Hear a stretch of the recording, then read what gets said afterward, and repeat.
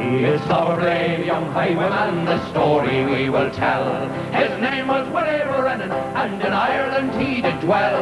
'Twas on the Kilworth Mountains, in amidst his wild career, and many a wealthy nobleman before him shook with fear. And it's Brennan on the moor, Brennan on the moor, bold, brave and undaunted was young Brennan on the moor. One day upon the highway, as Willie he went down, he met the mayor A mile outside the town.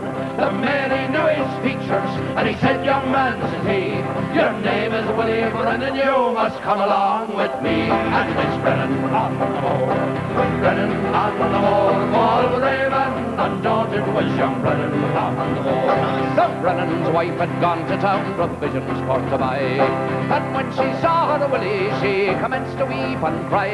Said, hand to me that tenpenny, in a soon as Willie spoke, she handed him a blunderbuss from underneath her cloak. For young Brennan on the moor, Brennan on the moor, bold, brave and undaunted was young Brennan on the moor. Now with this loaded blunderbuss, the truth I will unfold.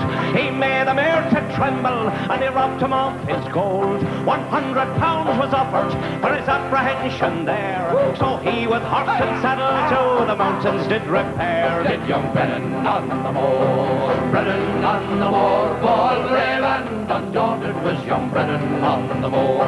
Now Brennan been an outlaw up on the mountains high, with cavalry and infantry to take him they did try.